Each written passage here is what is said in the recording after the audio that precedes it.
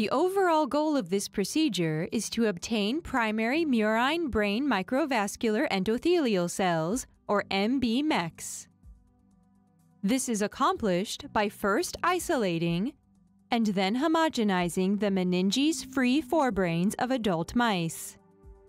In the second step, the tissue homogenate is further processed by enzymatic digestion.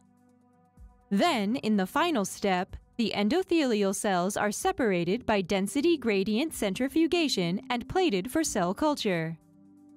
Ultimately, immunofluorescent staining of the isolated cells for CD31 expression can be used to confirm the purity of the MB-MEC culture. The main advantage of this technique over existing methods like the usage of immortalized brain endothelial cell lines is that the results obtained with primary cells provide a better transferability to the in vivo situation. This method can help answer key questions in the field of blood-brain barrier research.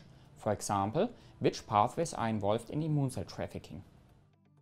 The implications of this technique extend towards the therapy of neurovascular, infectious, inflammatory or degenerative diseases of the central nervous system, as blood-brain barrier dysfunction is critically involved in the pathogenesis of such diseases.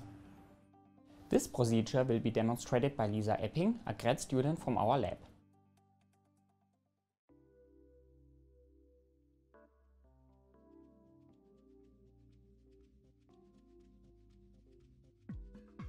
After isolating the brains from 10 8 to 12 week old C57BL6 mice, store the tissues in 5 milliliters of